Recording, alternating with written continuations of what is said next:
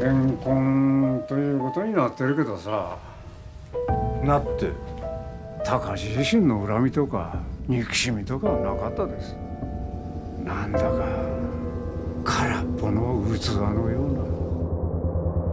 当ててみましょうか。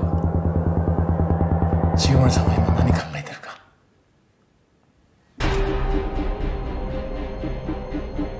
会うたびに言うことがコロコロ変わるもんだから。どうして殺したんですか？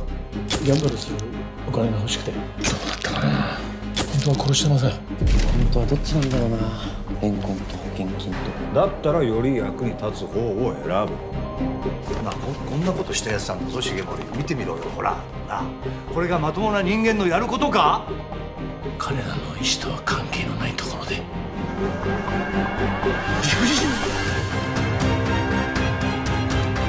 目撃者誰もいないんだぞ。なここでは誰も本当のこと話さない。あんなやつ理解しようとするだけ無駄だぞ。